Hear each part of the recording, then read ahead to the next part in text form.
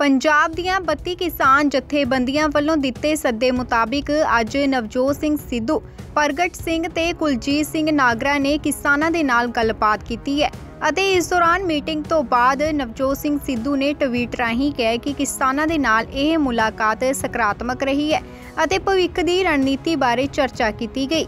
Meeting ਤੋਂ ਬਾਅਦ ਪ੍ਰਗਟ ਸਿੰਘ ਨੇ ਕਿਹਾ ਕਿ ਅਸੀਂ ਪੂਰੀ ਤਰ੍ਹਾਂ ਕਿਸਾਨਾਂ ਦੇ ਨਾਲ ਹਾਂ ਅਤੇ ਅਸੀਂ ਆਪਣੀ ਗੱਲ ਕਿਸਾਨਾਂ ਦੇ ਅੱਗੇ ਰੱਖੀ ਹੈ।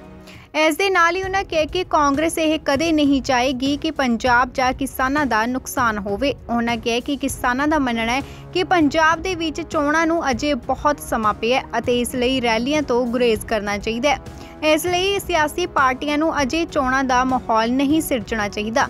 ਸਗੋਂ ਕਿਸਾਨਾਂ ਦਾ ਸਾਥ ਦੇਣਾ ਚਾਹੀਦਾ ਹੈ। ਇਸ ਦੇ ਨਾਲ ਹੀ ਉਹਨਾਂ ਕਿਹਾ ਕਿ ਸਾਰੀਆਂ ਸਿਆਸੀ ਪਾਰਟੀਆਂ ਦਾ ਆਪਣਾ ਆਪਣਾ ਏਜੰਡਾ ਹੈ ਅਤੇ ਪਿਛਲੇ ਸਮੇਂ ਦੌਰਾਨ ਪੰਜਾਬ ਦੀ ਆਰਥਿਕਤਾ ਨੂੰ ਬਹੁਤ ਵੱਡੀ ਢਾਹ ਲੱਗੀ ਹੈ। ਖਾਸ ਕਰਕੇ ਕਿਸਾਨੀ ਨੂੰ, ਕਿਸਾਨਾਂ ਦਾ ਬਹੁਤ ਵੱਡਾ ਨੁਕਸਾਨ ਹੋਇਆ ਲਿਹਾਜ਼ਾ ਹੁਣ ਪੰਜਾਬ ਨੂੰ ਨੁਕਸਾਨ ਨਹੀਂ ਪਹੁੰਚਾਉਣਾ ਚਾਹੀਦਾ।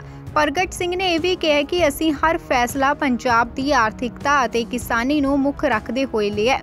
ਉਹਨਾਂ ਕਿਹਾ ਕਿ ਕਾਂਗਰਸ ਪਾਰਟੀ ਪਹਿਲੇ ਦਿਨ ਤੋਂ ਹੀ ਹੁਣ ਤੱਕ ਕਿਸਾਨਾਂ ਦੇ ਨਾਲ ਹੈ ਤੇ ਉਹਨਾਂ ਨੂੰ ਸਮਰਪਿਤ ਹੈ ਜ਼ਿਕਰਯੋਗ ਹੈ ਕਿ ਕਿਸਾਨ ਜਥੇਬੰਦੀਆਂ ਵੱਲੋਂ ਅੱਜ ਬੀਜੇਪੀ ਨੂੰ ਛੱਡ ਕੇ ਬਾਕੀ ਸਿਆਸੀ ਪਾਰਟੀਆਂ ਦੇ ਲੀਡਰਾਂ ਨਾਲ ਮੀਟਿੰਗ ਕੀਤੀ ਗਈ, ਜਿਸ ਦੇ ਵਿੱਚ ਕਿਸਾਨਾਂ ਦੀ ਕਚਹਿਰੀ ਦੇ ਵਿੱਚ ਇਹ ਆਗੂ ਪੇਸ਼ ਹੋਏ ਨੇ